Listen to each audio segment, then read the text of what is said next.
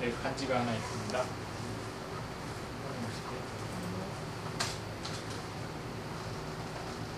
아무 이상이 없죠?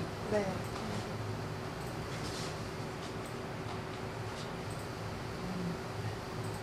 반지를 제가 끼도록 하겠습니다.